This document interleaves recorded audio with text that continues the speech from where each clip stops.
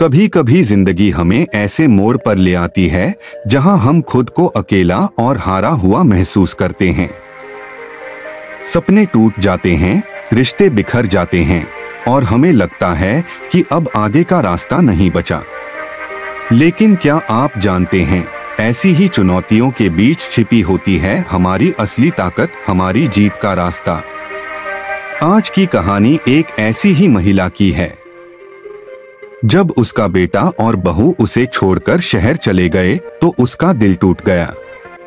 लेकिन हार मानने की बजाय, उसने अपने दम पर एक नई शुरुआत की कैसे एक साधारण महिला ने अपने आत्मविश्वास और मेहनत से अपने जीवन को फिर से खड़ा किया, और कैसे उसकी यह जर्नी हमें सिखाती है कि मुश्किलें हमें तोड़ने के लिए नहीं, बल्कि हमें मज़बूत बनाने के लिए आती हैं।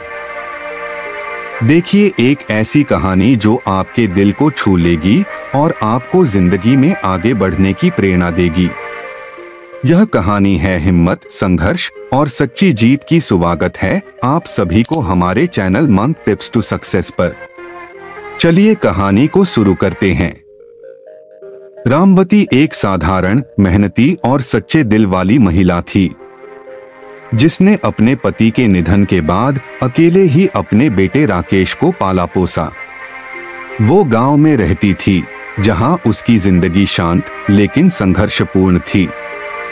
हर दिन वो अपने खेतों में काम करती, घर के छोटे मोटे काम निपटाती और गाँव के लोगों से मिलती जुलती रहती थी।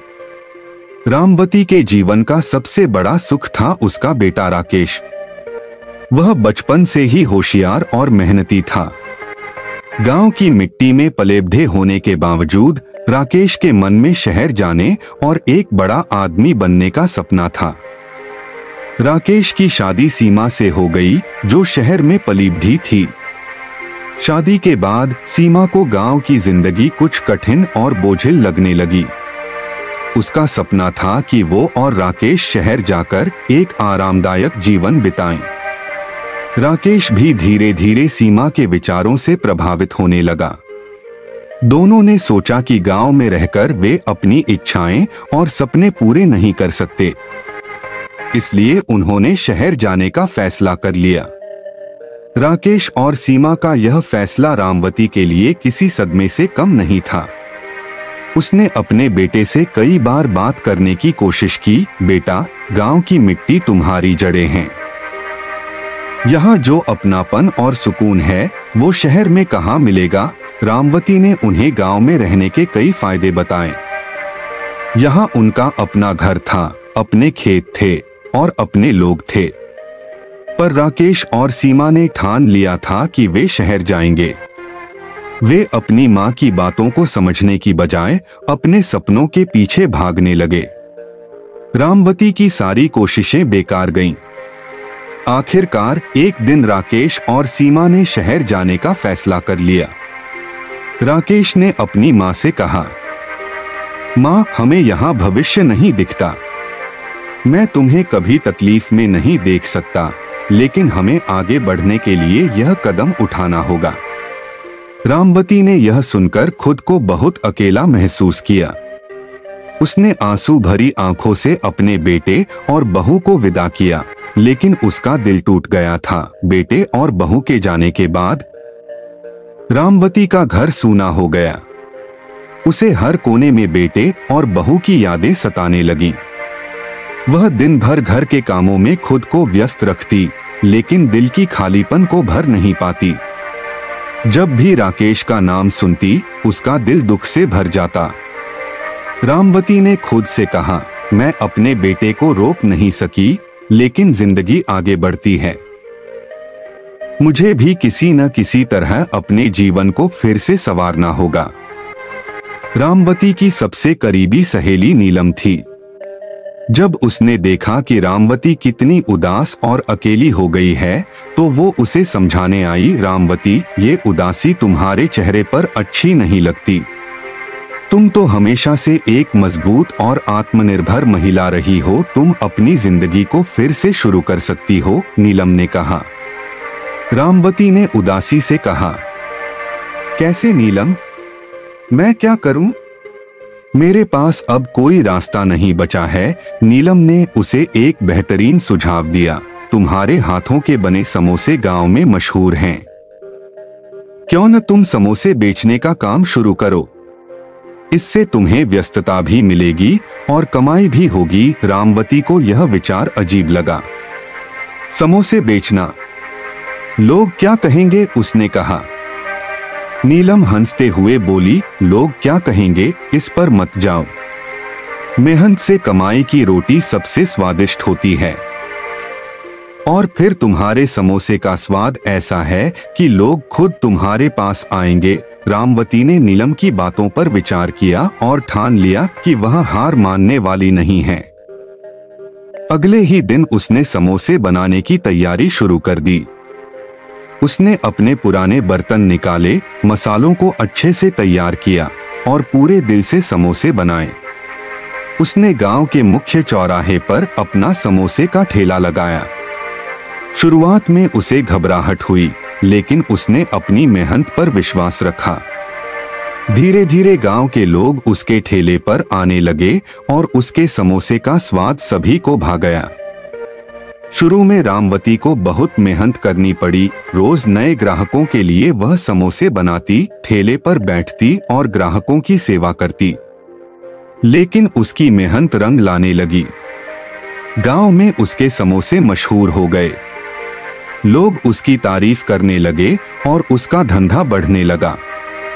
कुछ ही महीनों में उसकी कमाई भी बढ़ने लगी। अब रामवती के पास न केवल आर्थिक स्थिरता थी, बल्कि उसका आत्मसम्मान भी लौट आया था। इसी बीच शहर में राकेश और सीमा को कठिनाइयों का सामना करना पड़ा। राकेश की नौकरी छूट गई और सीमा गर्भवती हो गई थी। शहर की तेजतर्रार ज़िंदगी ने उनके सारे सपने तोड़ दिए थे। दोनों को एहसास हुआ कि वे जितनी उम्मीदें लेकर शहर आए थे, वो पूरी नहीं हो रही थीं। अब उनके पास ना तो कोई सहारा था और ना ही कोई उम्मीद। तब उन्होंने माँ की याद की, जो गाँव में अकेली थी। राकेश और सीमा ने फैसला किया कि वे वापस गाँव लौटेंगे। उन्हें अब महसूस हुआ कि गाँव की सादगी में जो सुख और सुकून था, वो शहर की चमक दमक में कहीं खो गया था। उन्होंने सोचा कि अब वे अपनी माँ से माफ़ी मांगेंगे और उसके साथ रहकर अपनी ज़िंदगी को नए सिरे से शुरू करेंगे। गाँव लौटकर राकेश और सीमा सीधा रामवती के पास गए। राकेश ने माँ के सामने सिर झुका लिया। माँ हमने बहुत बड़ी गलती की, हम तुम्हारे प्यार और गाँव की अहमियत को समझ नहीं पाए। हमें माफ़ कर दो, रामवती का दिल तो हमेशा से अपने बेटे के लिए धड़कता था। उसने राकेश और सीमा को गले से लगाया और उन्हें माफ़ कर दिया। अब राकेश, सीमा और रामवती ने मिलकर एक नई शुरुआत की। राकेश ने ठेले का काम संभालने में अपनी माँ की मदद करनी शुरू कर दी और सीमा भी घर के कामों में जुट गई। तीनों ने मिलकर समोसे का व्यवसाय और भी बढ़ाया। नीलम को जब रामवती की इस सफलता के बारे में पता चला तो वह बेहद खुश हुई। देखा, मैंने कहा था ना कि तुम अपनी ज़िंदगी को फिर से संवार सकती हो, नीलम ने हँसते हुए कहा। रामवती ने उसकी बात मानकर जो कदम उठाए थे, वो उसे नई ज़िंदगी की ओर ले गए थे। रामवती के समोसे का ठेला अब पूरे गाँव में मशहूर हो गया था। लोग दूर दूर से उसके समोसे खाने आते थे। उसकी मेहनत और आत्मविश्वास ने उसे गाँव का सम्मानित नागरिक बना दिया था। राकेश और सीमा ने भी अपनी माँ के साथ गाँव में ही रहने का फैसला कर लिया। रामवती ने अपनी ज़िंदगी में जो उतार चढ़ाव देखे थे, उन्होंने उसे और भी मज़बूत बना दिया था।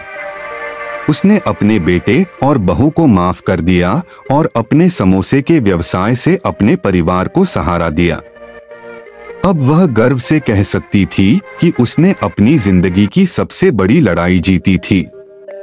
और इस तरह रामवती ने अपने संघर्ष और मेहनत से एक ऐसी मिसाल कायम की, जो हमें सिखाती है कि कोई भी परिस्थिति कितनी भी कठिन क्यों न हो, अगर हम हिम्मत और धैर्य से काम लें। तो हम अपने सपनों को सच कर सकते हैं। रामवती का सफ़र सिर्फ़ समोसे बेचने तक सीमित नहीं था, बल्कि यह एक यात्रा थी आत्मनिर्भरता, आत्मसम्मान और नई शुरुआत की अपने बेटे और बहू के वापस लौटने के बाद भी उसने न सिर्फ़ उन्हें माफ़ किया, बल्कि अपने व्यवसाय को जारी रखते हुए उन्हें भी अपने साथ शामिल किया। यह कहानी हमें यही सिखाती है कि जीवन में मुश्किलें तो आएँगी, लेकिन अगर हम डटकर सामना करें तो जीत हमारी ही होती है। मुश्किलें हमें तोड़ने के लिए नहीं, बल्कि हमें और मज़बूत बनाने के लिए आती हैं। आपकी ज़िंदगी में भी ऐसे पल आते हैं, जब चुनौतियाँ आपको झुका देती हैं। लेकिन याद रखिए, हर मुश्किल के बाद एक नया सवेरा आता है। जैसे रामवती ने अपने सपनों को नया रूप दिया, वैसे ही आप भी अपने जीवन की नई शुरुआत कर सकते हैं। तो अगर आप भी अपने जीवन में बदलाव लाना चाहते हैं तो कभी हार मत मानिए, मेहनत कीजिए और यकीन मानिए, सफलता ज़रूर मिलेगी। ऐसे ही प्रेरणादायक कहानी के लिए जुड़े रहिए और अपने जीवन की दिशा बदलने के लिए आज ही पहला कदम उठाइए।